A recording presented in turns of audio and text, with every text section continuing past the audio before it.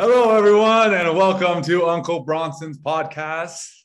Man, we're so lucky today because we have one of my teammates that I've known for a few years now. Uh, actually, I played against him, and now we've been teammates in the NFL on two different teams. So I'm pretty excited to have Ben Braden here. Ben, welcome to the show. Thanks for having me, bud. It's yeah. good to be on here with you. Oh yeah, I'm so excited. Uh, man, I've known Ben for a long time. Uh, he's his nickname, which is fitting, is the Mountain because you see this man in real life. The man is huge. how tall are you? Uh, about six six, just under six seven. I tried. I got really close. how much do you? How much do you weigh? Uh, oof. This morning I weighed in about 345, 340, yeah, a little over 345. Yeah, and like 12% body fat. The mountain is awesome. I love it. Well, just to get things started, maybe you could like start off by telling us a little bit about, you know, your background, kind of like your football story and kind of like your, like wh- how you got to where you're at right now. Yeah. Um, honestly, you know, I didn't start playing football until I was a sophomore in high school. Um, played ice hockey as a kid. I thought that was going to be, you know, my path. That was my dream. Yeah. Play for the Red Wings. And uh, that's funny how things change. um, but I started playing in high school. Um, and then, you know, kind of got recruited a little bit and then uh, ended up going to Michigan. Uh, I was there for five years between 2012 and uh, 2016. Um, you know, and then uh, coming out for the draft, uh, I went undrafted and did a whole, you know, tryout process with the Jets. And um, that's where you and I met. That was, I think that was my second year when we met. Um, and then uh, my third year was kind of a weird year. Um, I was started with the Jets, and then I went to the Packers, and then at the end of the year, I went back to the Jets.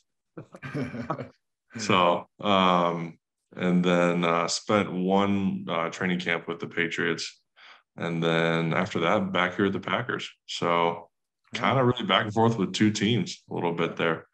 Um, but you know, it's fifth year and it's going great. It's definitely been a process. You know, it, it definitely teaches you to keep grinding.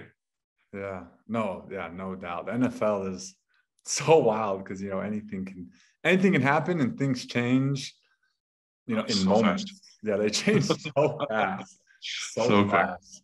Uh, so maybe you can tell us a little about a little bit about like what helped you like what helped you in in college with playing? I mean, you went to Michigan. I remember playing against you. You killed us. it was like 31-0 when we played against you guys. But like what yeah, like what helped you to, you know, going to the school that you went to and being being able to be a starter there, like that's that's hard, you know, because there's some the competition is crazy. Mm-hmm. Um, you know, I, as a as a freshman, I had Taylor Lewan and Michael Schofield, both of our big tackles. Um, you know, to really look up to as a young guy. Uh, I think that was uh, really important to have a good group of guys that you can look up to and learn from as a young guy. Um, and I would say the same thing in the NFL too. You know, being when you're a young guy, having an older guy to look up to and you know kind of connect with um, is really really good. Mm-hmm. Um, but you know, honestly, it was just kind of going to Michigan. I didn't really know what to expect. Um, you know, coming out of high school, just being honest, I never really had to work hard. I never knew what that was. Um, just because I was, you know, fortunate and gifted physically, I, I didn't know what it was. So I, I kind of had a little wake up call my first couple years in college, as far as figuring out how to push through tough times. You know, um, push yourself. Yeah. Um, you know, and I think having coaches and people that are willing to be with you, even in the worst of times for yourself, and keep pushing with you, I think that was really important to me. Um, I had some strength coaches um, that you know I got close with, and they were good about pushing me, um, but also encouraging me when I really was like, man, this is tough. What am I doing? um, you know, and I just kept grinding. And then my third year, I got the starting spot at right tackle. Um, and then after that, you know, I was a starter. The next year, I played left guard. That's when uh, Jim Harbaugh came. And then my last year, I started at left guard, and then our left tackle, unfortunately, he got hurt. He was a true freshman, um, and he was uh, he, he hurt, and you know that was just a bad situation. And then I got bumped out to left tackle, and wow, was there the rest of the year. It's a lot of fun, but yeah, wow, that's crazy. I uh, I didn't know that to be honest. that's that's awesome. it totally makes sense though because I mean, knowing you and like how hard you work and you know good things good things always always come to those who you know really work hard and position themselves for like the opportunity i think you know a lot of a lot of life is just like about that. Like you you know how you work you know when people aren't you watching and do all that and yeah. you know good things always come. So yeah you, you never know those opportunities are going to come. You got to be ready. Yeah no seriously you do. Anything anything can happen. So then you so then you transition right to the NFL, and I guess what's like the biggest lesson you've learned, you know, that that's helped you, uh, like on the field, off the field. I I just feel like anything you learn from sports just correlates so well off the field. So oh, absolutely. Yes. Like what's a lesson that maybe that you've learned just being in the NFL, like when you made the jump?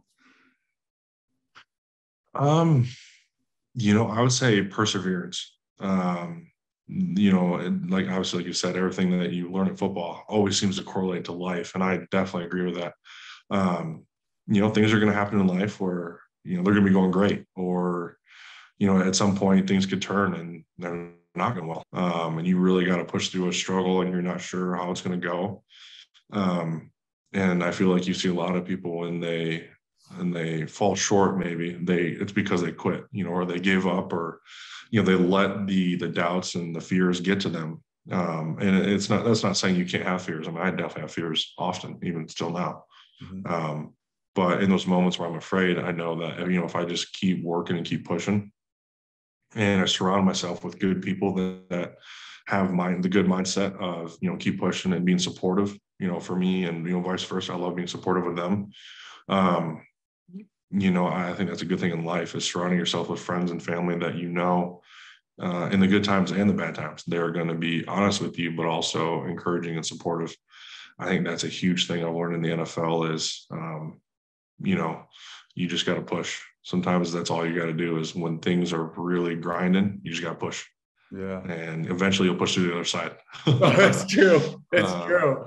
No, it's so it's so true. I love that. I love that because I I mean I've seen you live it since I've known you, and so it's so it's so true. You gotta keep pushing.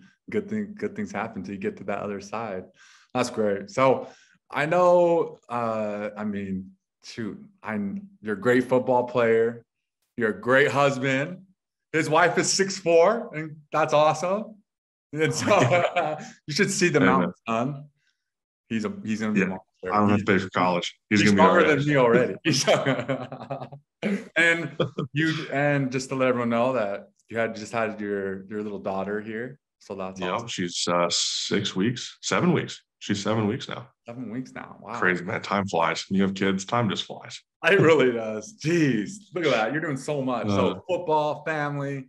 Uh off the field though, the mountain has some other passions that are awesome which I want to touch on. Uh, the, so Ben, he is just amazing with cars. When it comes to cars, literally, you need to come to this guy right here because he knows everything about them. So how did you how did you fall in love with cars? Like, what's your what, what's that story? I've actually never asked you that story. you know, it's a fun story. So we're going back to high school, like I do with okay. football.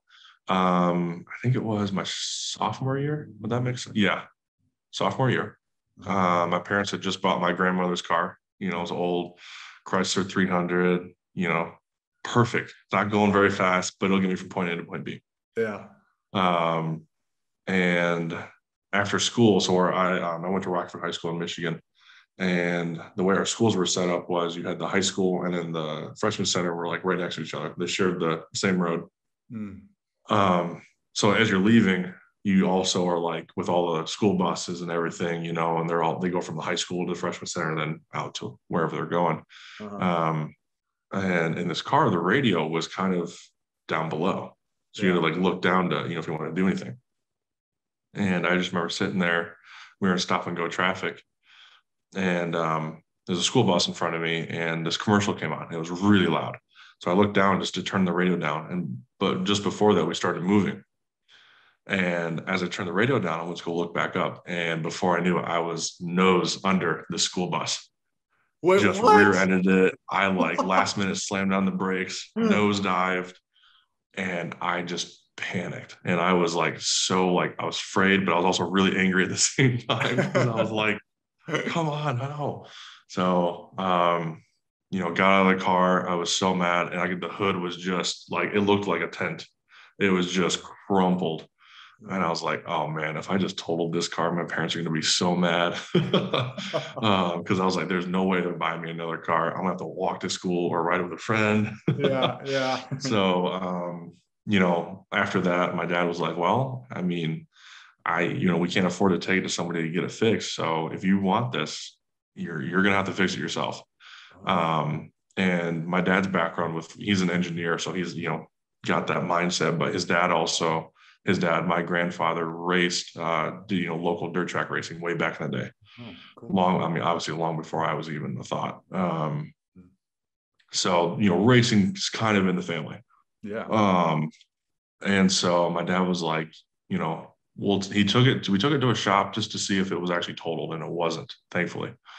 Um, but I mean, like a lot of the accessories on the engine need to be replaced. The intake manifold, headlights from, I mean, the hood, obviously, it yeah. was just mangled. Mm-hmm. Um, and so through that, he started kind of teaching me how, you know, putting parts on. And I was like, so what does this do? You know, how does this work? And how does this correlate with this? And then once I kind of started learning like the fundamentals of how engines work, I was like, oh, this is really cool. I want to know more.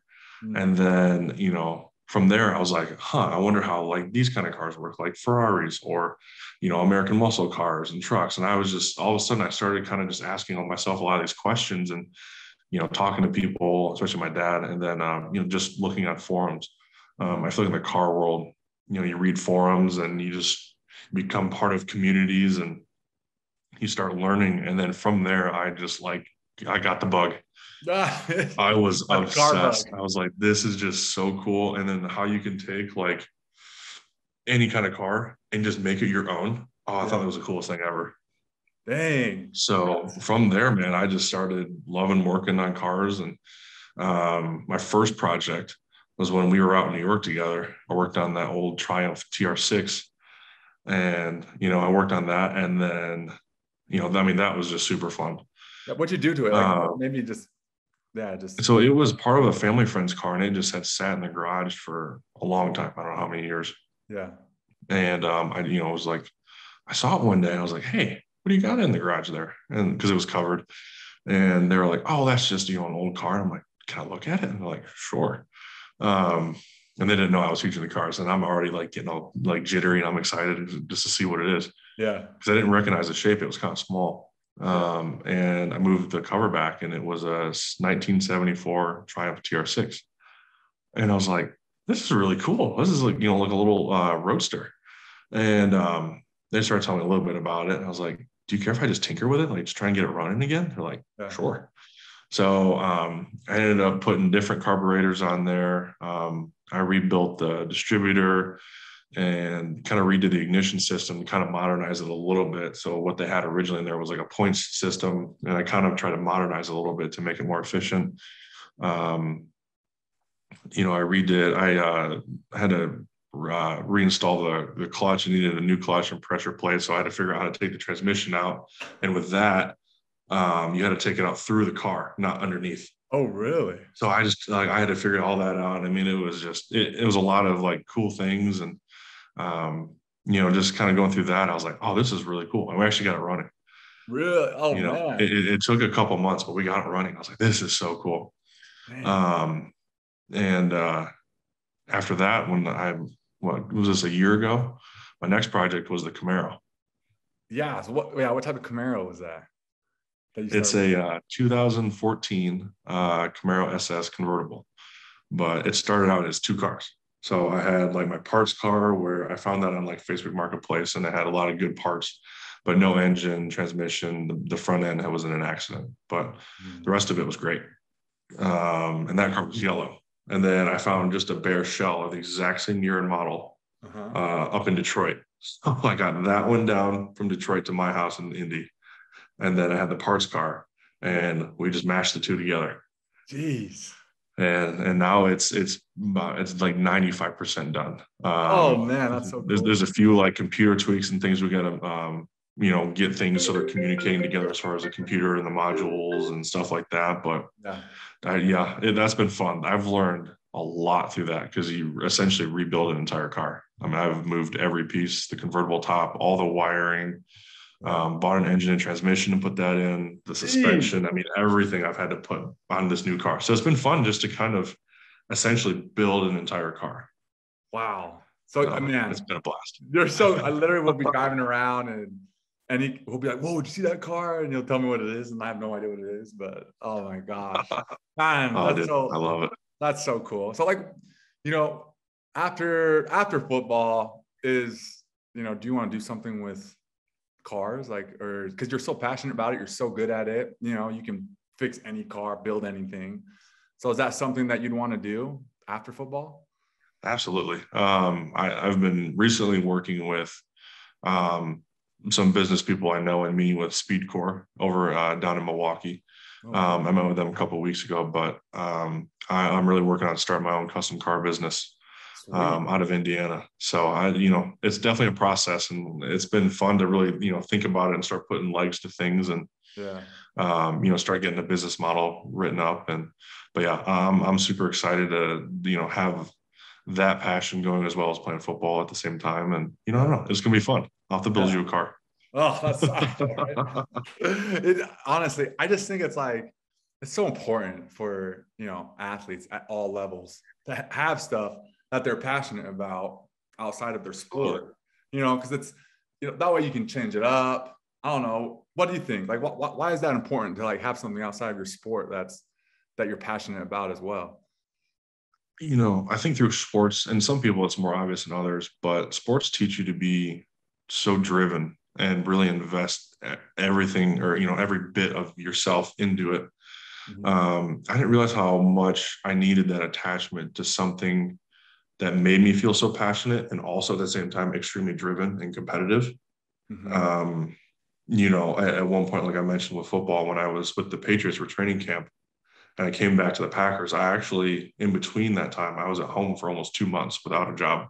Mm-hmm. And, you know, I, I started kind of like getting the, the nervous tick of, you know, I, there's a job I can fall back on. You know, I mean, I, I graduated from Michigan and I had a degree and it wasn't so much that I was afraid I couldn't get a job. It was, would it be something I'm passionate about? Would I still have that competitive edge? Would I still be driven about it? Yeah. And honestly, I could go out and get a job, but I probably wouldn't have those feelings, you know, where you you you work really hard and you know on a project or you know whatever the job may be. Mm-hmm. And at the end of it, it would just be a project. It wouldn't be like in football where you prep for the week, you have the game, and then you play. I mean, you know, you you really have that drive every single week mm-hmm. to get better and to like see i feel like you know in the weight room and practice you can see yourself progressing and you have that feeling of achievement and continuing to build on those achievements with more. And i just i was you know during those two months where i didn't have a job i was like i really need something that i'm doing while i'm you know if i get a job with football i need to have this as well or start thinking about what am i going to do if i don't have football or when it's done Mm-hmm. And I, I, think cars for me is really that thing because I'm really, really passionate about it. Yeah. But I really want to push myself and see, okay, obviously I'm still kind of in a young stage as far as talent and everything mm-hmm. and actually doing things. But I really want to push myself and see, okay, how far can I really take this? Where, how can I take my talents? How can I grow my abilities? And I just started feeling like it was just how I think about football, but just in a different world. Yeah. And I think that's huge for athletes to really if you you know have a passion great go after it. And with football and whatever sport you're in especially with you know you guys at Connect NIL mm-hmm. you have so many businesses that you can get people in contact with and start making those networking and those connections.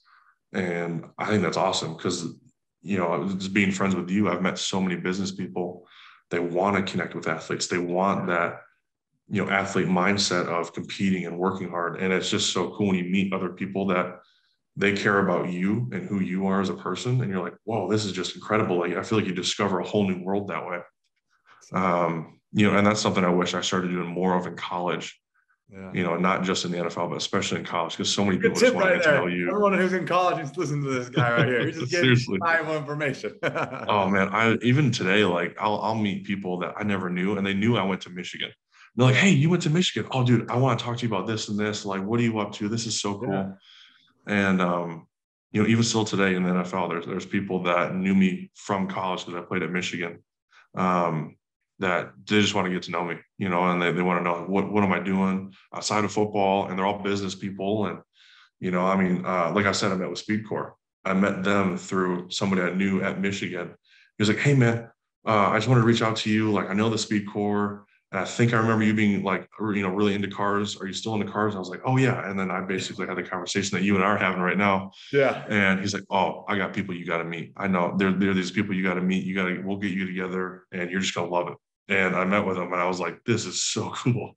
Oh my gosh. I love that. It's like, yeah, you never know who you're going to connect with and, you know, how, no. how that connection, you know, how you can help them, they can help you. And, you know, you just never know and how that can change the future. So, no, yeah, it's definitely a fun process. Yeah, dang, the mountain, man. Well, thank you for taking some time out of your day to jump on the podcast Absolutely. with me, Ben. Really yeah, hey, thanks for having me, man. Uh, it's been great to get on here and talk with you guys, and you know, this is awesome. I think what you're doing is great. Man, well, thanks. Well, if you guys want to ask him about cars, you need to go and direct message him ASAP because he he is awesome. You know, he's I always say he's like the Diesel, the Diesel brothers. He's the brother that they haven't met yet, you know, that they need to meet. I would love to meet them someday. That would be a lot of fun. cool. All right, really Ben. Cool. Well, thanks. Appreciate you. We'll see yeah, you. Yeah, thanks, man. Absolutely.